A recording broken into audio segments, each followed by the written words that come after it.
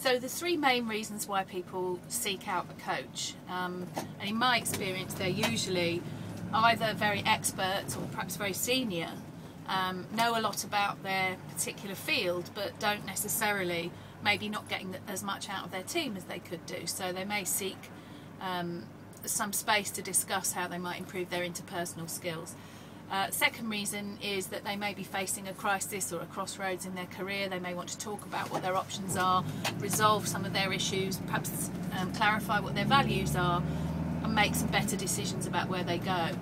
Um, sometimes people get coaching as a way of um, either embedding some learning on a leadership program, or perhaps they want to talk about how they've how they're applying some learning from a course.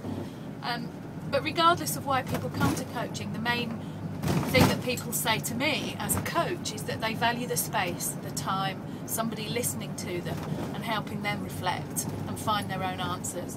Uh, and